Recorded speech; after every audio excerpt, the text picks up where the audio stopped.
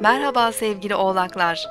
Boğa burcunda gerçekleşecek güneş tutulması ve yeni ay çocuklarınız, yaratıcılığınız, aşk ve duygusal hayatınızla ilgili konularda yenilikler getirebilir.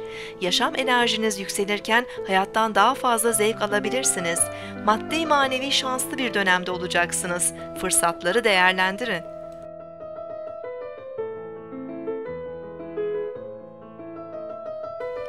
Bugün 29 Nisan 2014 Salı, Mars günündeyiz. Boğa burcunda ilerleyen ay sabah 9.14'te Güneş'le kavuşacak ve 8 derece Boğa burcunda yeni ay ile birlikte Güneş tutulması meydana gelecek.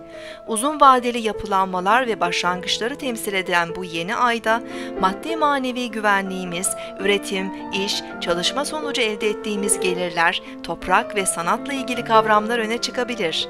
Boğa burcundaki Merkür ve Plüton arasında oluşacak üçgen açı toprak enerjisini arttırarak güven ve istikrarı bulmamıza yardım edebilir.